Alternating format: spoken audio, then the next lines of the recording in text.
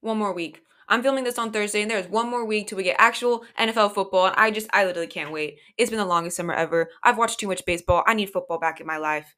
Anyway, I'm your host, Meghan Townsley, and welcome to another episode of Downtown Sports. Today, I'm going to be reviewing, ranking, and previewing the top five rookie wide receivers from last season and talking about some of their impressive and maybe not so impressive stats. So let's get started.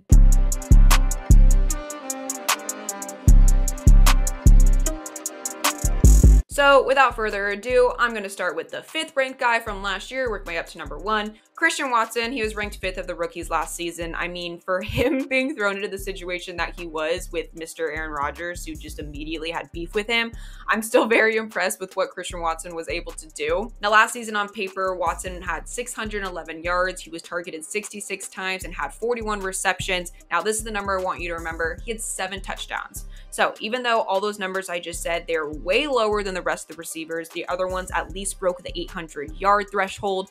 But Watson only played 14 out of the 17 games last season, and he also had grumpy Aaron Rodgers throwing to him, so he didn't really want to give him the ball. I think all of these stats are really just a baseline for Christian Watson, and it doesn't even show his potential, really.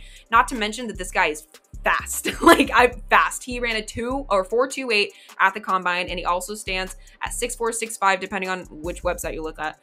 But nonetheless, he's definitely a strong, tall giant receiving target. And so I just think when you put him and Love together, he's going to explode and pop off this upcoming season. His targeted air yards percentage was 21.47, which is a fairly high number. And his average yards after catch above expectation was 1.5. Now, that's the number that really stands out to me the most. I think it's a little skewed from he had a 45 yard touchdown, I think, in week 16. But still, nonetheless, a lot of the times after he caught the ball, he ran it down the field 20, 30 yards. The red zone was kind of a, an area of concern from him, or at least lining up in um, in the red zone. And some of the beat writers and some of the journalists that have reported on him this offseason have said that that has been an area that they have been targeting a lot more.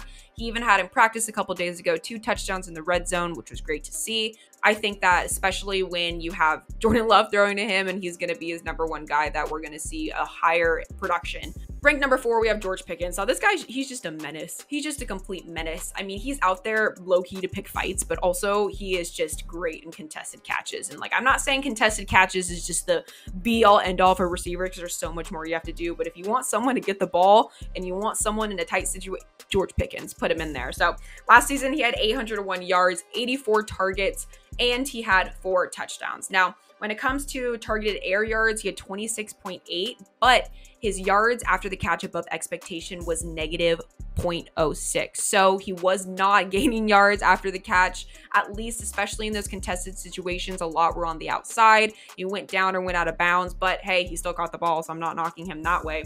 The thing about George Pickens is he really more is a highlight reel. So a lot of his catches, I would say he kind of in my opinion, tried too hard when he didn't really need to. He had this incredible one hand catch, which I mean, it was beautiful. It was earlier in the season. But then he tried to recreate it a couple games later and almost got intercepted. So it's more of like, where does his ego come into this? Because it's not necessarily like the show is not about you, George Pickens. It's really not. It's about your team. But nonetheless, hey, if he makes the catch, he makes the catch. I just think sometimes he tries too hard to do that. Sometimes he tries to go behind the back and catch the ball when he could have just easily faced front.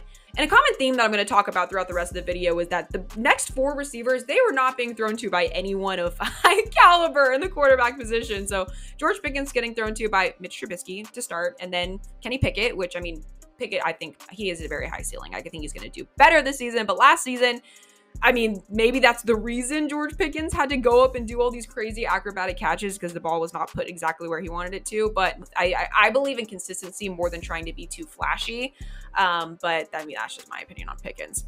Now, Drake London, Drake London is a curious case because he actually was scouted higher than Garrett Wilson, who is number one on this list, but he only had 866 yards last season and four touchdowns. So it's like, okay, yeah, he was scouted higher, but I mean, maybe he just got handed the the bad draw with Marcus Mariota. So again, another another strong young wide receiver who just didn't have anyone throwing him the ball really. Now, the thing that I really like about Drake London, especially from some of the film that I watch, is that he's he's textbook. He really is. He's a bigger dude, which is great, able to get the ball in tightly contested situations. But if you watch his footwork, uh, it looks like he wrote the book. Like he his footwork is so so clean. And what I really really like about his route running is you don't know where he's gonna go. He's really committed to the bit and say he's running a hitch route, he's gonna act like he's going post or vice versa. And his cuts are so so sharp, and that's what is, makes him able to get open in space and separate from the secondary. And the other thing is too is he even if the first, second, or the third reads aren't open, he'll get open. He'll get open. He puts his twinkle toes down on the sideline. So I think skill wise, London is just really, really at baseline. He's textbook. Now, next is a guy that I've been so high up on for so long, Chris Olave. I've already talked about him so much, but I have to bring him up again. Ranked second out of the rookie wide receivers last season, and again, another trend of he was just getting thrown to by anyone, literally anyone.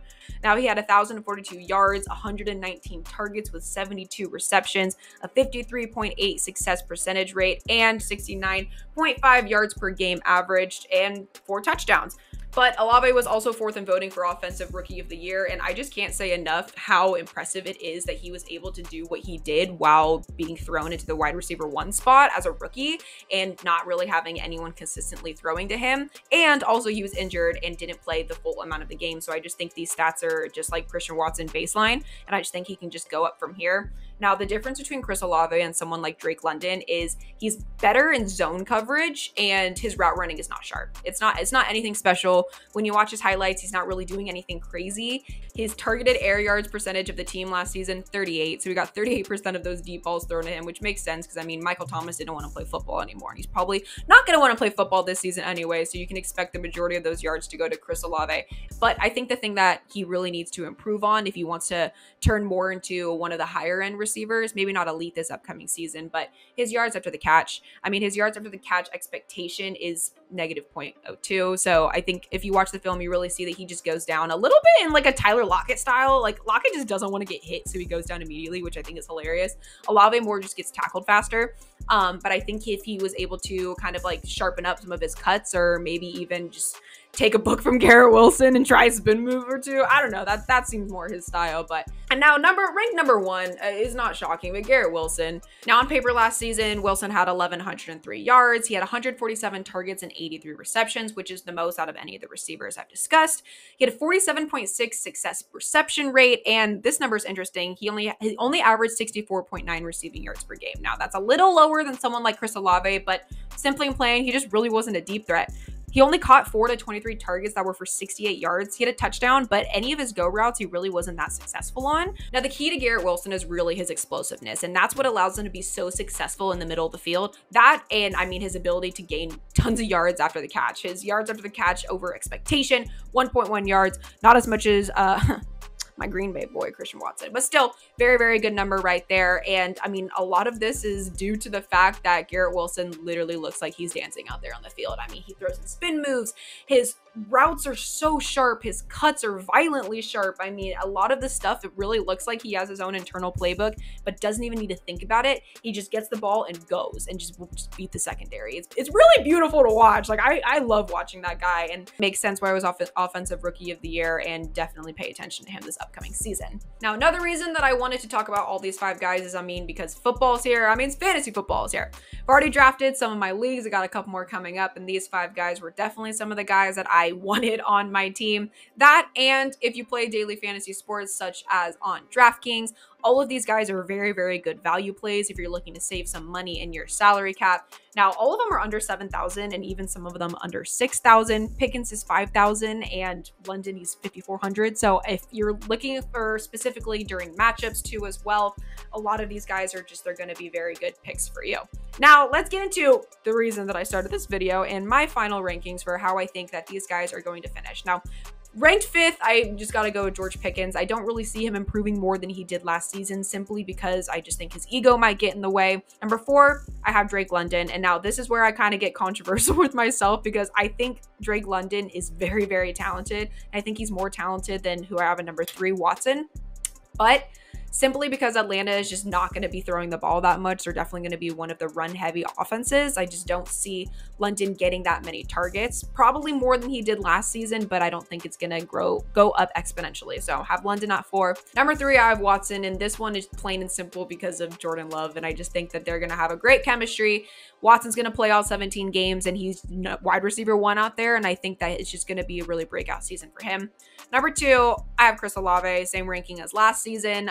He's going to be wide receiver number one because Michael Thomas hates football. And number one, I have Garrett Wilson. I just think that the Jets are really going to surprise some people this season. And when you have Aaron Rodgers out there, like you're guaranteed to get some targets. So that's my rankings for this upcoming season. I'm very, very excited. I don't know how many times I've said that, but I'm tired of talking. So we'll see you later.